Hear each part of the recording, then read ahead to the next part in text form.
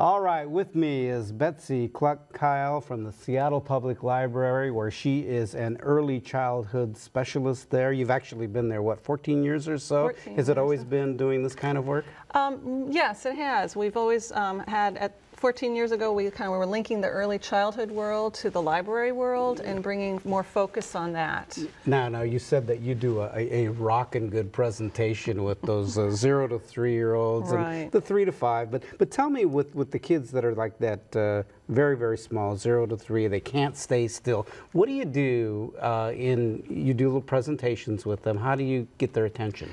We do a regular story time. We call it toddler story time, and we, um, it depends on the group size. We can have 20, 30, up to 60, 80 kids and adults in the room. And um, for that age group, it's not developmentally appropriate to, to think that they're going to be sitting for 30 minutes and listening to stories. So we incorporate a lot of movement, a lot of songs, and a lot of conversations, somewhat on the adult level and on the kid level, to encourage learning throughout the whole realm of, of songs, music, um, not just sitting in books, and they're all literacy-based skills that they're So, learning. but you're not only actually you- you're helping the kids learn something. Oh, yeah. But you're really helping the parents uh, in teaching them how they can help their child learn. Uh, and Tell me about that.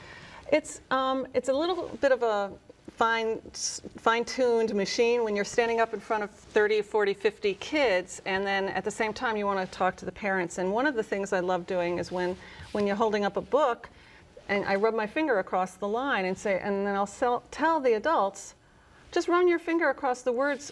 They don't know what they are now. They're just black squiggles on a page. But eventually, they'll connect that those black squiggles are words, and that they'll. And that's the whole idea of getting them to know what a book is, to understand that there are words there. Is that crucial in then helping them realize that eventually they're going to learn to read and maybe helping them read?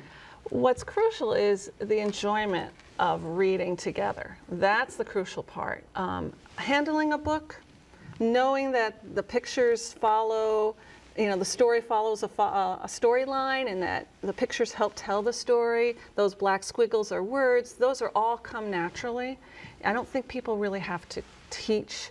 It's the enjoyment of a book. Um, that books are exciting, that books take you to far off places, all those things that you've heard for years and years. Intuitively, kids will pick up sentence structure because they've heard it over and over again. Your reading voice is very different than your speaking voice.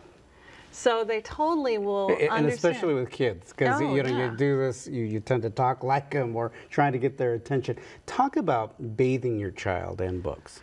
I, I tell parents every now and then, you just need to bathe them in books, bathe them in language of all kinds. So, for instance, if um, talk about what you're doing when you're doing it, but don't talk at them.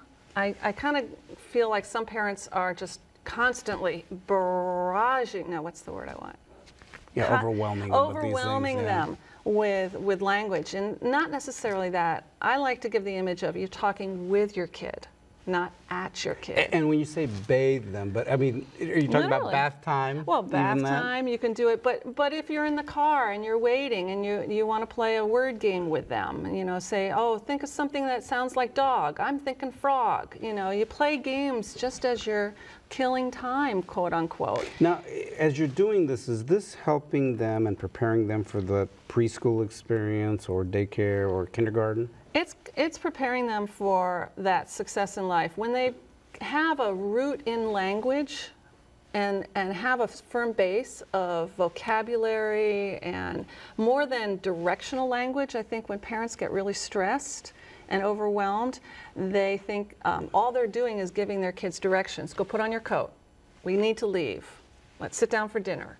You know, when you have a more um, broad base and enjoyment, books are the perfect avenue to bring that fun part of language to them. When they have that, they will be ready to learn better. When, and studies have shown this, that reading helps improve kids be ready for kindergarten, ready for a preschool experience.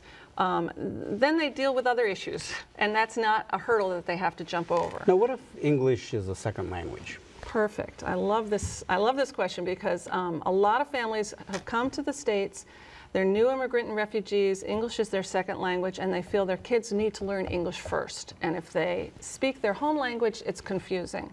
And what studies have shown is you need to give your birth, your babies, your toddlers, your preschoolers a firm language base in your home language. The English will come, but if you're not comfortable in English, they will miss during, while their brain is developing. They'll miss that that key part of so of, of learning language skills. It's just language skills, and it crosses from English to all languages. So, sing in the, your native language. Uh, read story, uh, tell stories of your childhood. Um, just anything you can do. If you have books in your native language, and the library has a ton of books, bilingual and in different languages. Because at least you're getting them encouraged, you're connecting them there. Now, the library, and you have something that you brought here with us. Why don't you. Yeah. show me this? Uh, this is what a, a kind of a bag of kind of the goodies that the library provides, or This what? Is, yeah, this is one resource we have for early learning, and it's uh, kind of a grab and go um, kit. It has five um, board books. This is for the toddler kits, uh, that birth to three-year-olds. So it has five board books, and it has a music CD, and it has a parenting book or an adult book that gives you resources of fun games and things to do. And then it also has a card that gives you finger plays and activities that all, and you just check it out as one item. Well, and know- so it supports that whole whole family get to, get together, um, just pull this stuff out and enjoy it at one time. It's got the kit all ready Yeah. for you. Uh, let me also mention here that there's a summer reading program uh, at the Seattle Public Library. This is a, uh, a magazine that has all the information. It's available at all the libraries. You don't have to pay for it. It's all free. And Betsy, uh, this is great information, and uh, I- you know. Libraries is really where it starts, I think, with kids and getting them interested in books and all of these things. It sounds like you have a good time doing this. We have a great time, and, and with um, all the programming, everything, it, it, what, what's wonderful about libraries is it's free to the public, and not everybody, especially for families that are coming into the, the States for the first time, they understand that. It's a totally free resource. All the programming, story times, those are things right off the bat. And, and this kit, that is that something they can check out? They check or- out for Okay. three weeks just like they Is it would check a book. you? No, All it doesn't cost a thing. Betsy Kluck-Keil from the Seattle Public Library Early Learning Specialist. This has been a lot of fun and great information. Thank you. Thank you very much. All right. Thanks.